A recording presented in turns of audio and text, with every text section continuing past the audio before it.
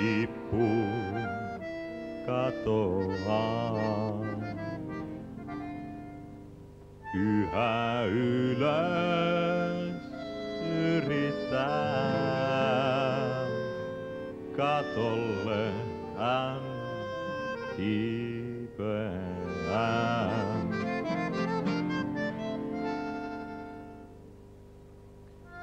Me kaikkihan tiedämme, kuinka tavattoman onnettomia nokikolarit saattavatkaan olla. No nuohojat, hehän saavat osakseen yhteiskunnan kaiken savun ja karstan. Eikä siinä vielä kylliksi.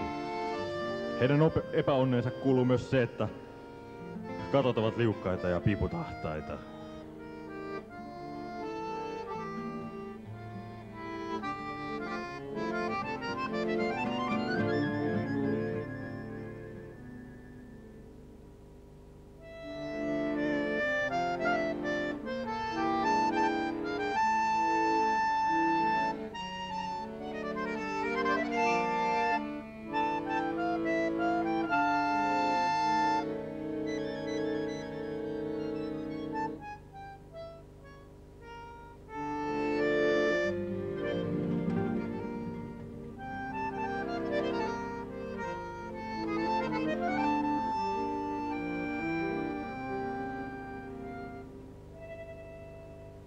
Pieni no no no no no no no no no no poika vaan, unin pipi pipi pipi pippun katoaa.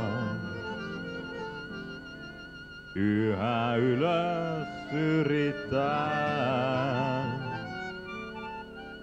katolle hän kipeää.